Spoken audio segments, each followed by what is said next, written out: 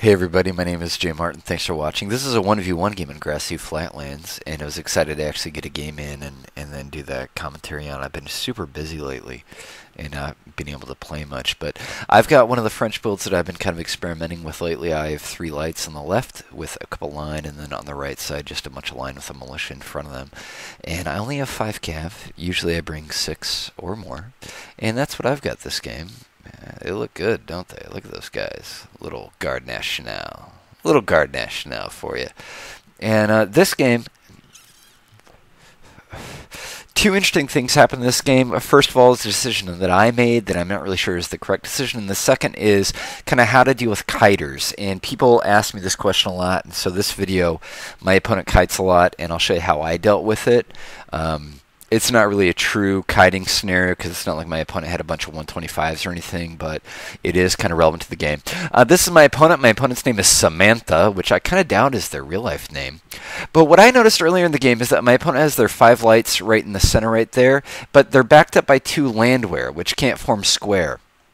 Um, so my thought, and uh, that being the fact, and the second fact is that French line infantry is a lot better than Prussian line infantry. The only real advantage that Prussia has is their light infantry, their fusiliers.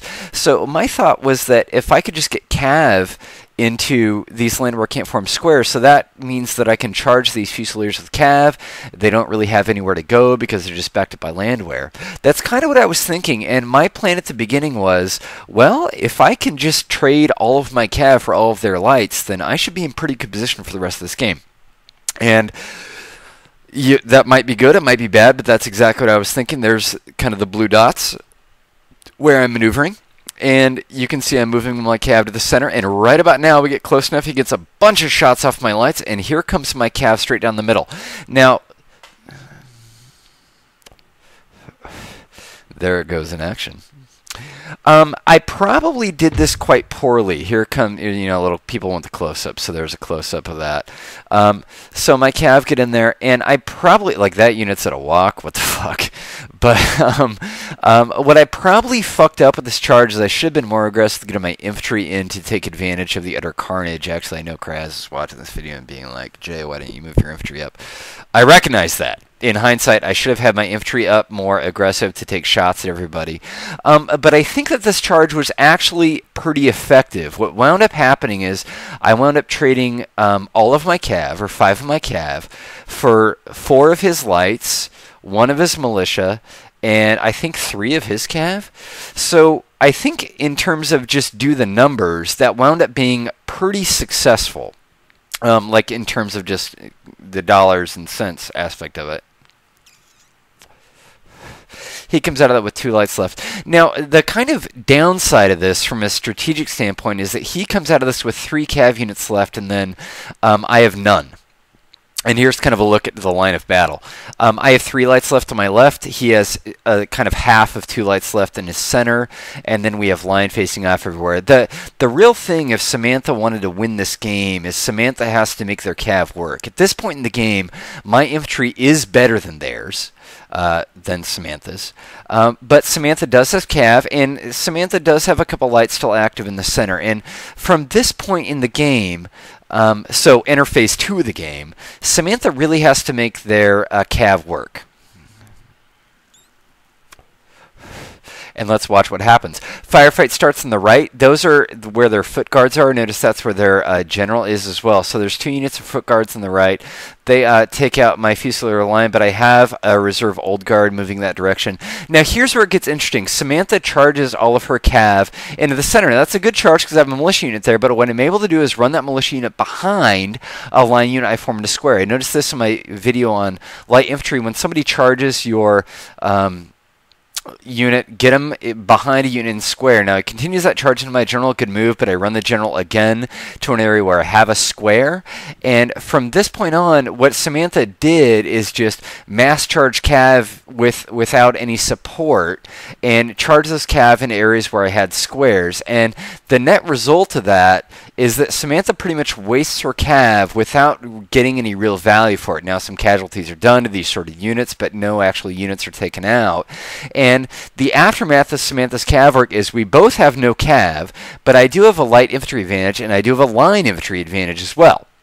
And right about this point, we're going to reform lines, and I have an advantage over Samantha.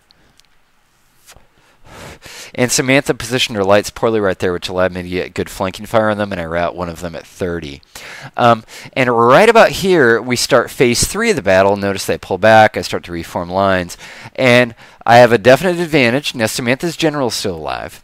But I have a definite advantage in the quantity of infantry, and because Samantha doesn't have any cav left, you notice I'm able to spread my infantry way out. Now, Samantha starts mass kite at this point, is what Samantha kites starts doing. Excuse me. What Samantha starts kiting right now. Now, if you're going to kite successfully, the whole point of kiting is to take advantage of range. So you let your opponent walk into your range, which hopefully is longer, take a shot, and then retreat. Um, the real solution to this, at least in Napoleon Total War, is to walk faster than they can retreat. And that's exactly what I start to do. So, what I start to do is move up really aggressively and really fast, and I start to move up closer than Samantha can retreat. And as Samantha starts to advance here, but kind of gets a second breath, and oh, sorry, I moved the mouse around too fast. And kind of all I do at this point is I do have a range advantage in the center with my couple of units of lights, but I just move my units up really, really fast. And I mean, that unit routes at, man, that unit routes at 70. I think maybe I don't think I've killed her general at this point, but I'm able to move units up, and all I do to defeat the kiter at this point is I just move up faster than she can retreat. I'm doing a much better job at the See, look at me get I'm getting shots in the back of that unit right there on the right side, and I do that a lot better on the right side than I do on the left. Um, but the real solution of the kiter is to move up faster than they can to retreat. Now I want to give some props to Samantha who like kind of you know faked and advanced there, but then retreated. Um, but all I do right now is, and I do have a flanking position, is notice I'm moving up my units really aggressively. Samantha, the red line is really close. I mean, at some point Samantha's going to run back to the red line. Um, you know, I'm not really sure if I was the Samantha player, what I would be doing at this point, but when you're outnumbered, you got to attack. I mean, it's it's fairly obvious that if the game continues at this pace, um, I'm going to be able to flank and then win the firefight against Samantha. Um, so I don't think that strategically Samantha made the right decision here. But all I do is just advance my people faster than Samantha can retreat them. And in the course of this, I'm going to get good flanking fire on another unit there. I think Samantha goes melee charge, so I just counter charge. Well, I think we're going to wind up at a wash right there. But it really it's kind of simple against the kiter. in this point, all I do is just move up faster than she can retreat. And it's yep, there we go. I mean, a couple volleys in this musketeer's route, and I move up, and a couple volleys in this musketeer's route. So against the kiter, if if you outnumber the kiter, it's pretty basic. All you want to do is just move up and get fire on them. That's it. But you got to move up a little bit faster than they can retreat. And you're going to get higher quality shots because you can shoot them in the back. Now, an interesting thing happens here. Samantha starts to advance on this side. And she actually has a range advantage because those Fusiliers have a range of 100. So I'm content to pull back while my flanking force here gets on, you know, her flank. And I just shoot it out that way. And all I do is keep moving up and moving up and moving up and yada, yada, yada. And I want to note at this point that Samantha was rated pretty high. Like I think she had six or seven stars, which really outclasses me. I only have four. But all I did was just keep moving up, and at this point, it's kind of a foregone conclusion. I, you know, completely outnumber Samantha, so I can just get on her flank, whatever. Even though she's pressed against the red line right there, but all I do is just move up and put fire on her. I'm content to uh, not let her shoot at me on this flank, and I can just keep moving up on that flank over there. So, you know, kind of what I did in this game is I noticed that my opponent made a big uh, tactical blunder. They didn't have legitimate line infantry protection for their lights, so I just ran all my cav in there, and I think I got pretty good value for my cav in that exchange. And then after that, when she started, you know, the the big kite maneuver, I just advanced a little bit quicker than she could retreat. And what's kind of interesting, if you look right now, is that Samantha actually killed more people than I did.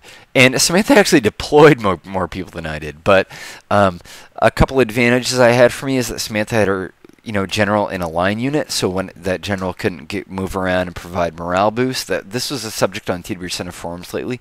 So I think I got a little more value over having a, mobile general, and then more importantly, I was able to kind of focus fire kind of where it mattered and get on their flank a little bit. So that that's kind of the real lesson. I was able to hold my morale better, and that's that's an advantage of playing France with Old Guard too. I had a little bit of a morale boost, but what's kind of interesting in this game, my opponent killed more people than I did, but I had my people at points where it mattered. So that's something to keep in mind when you're playing your Napoleon games.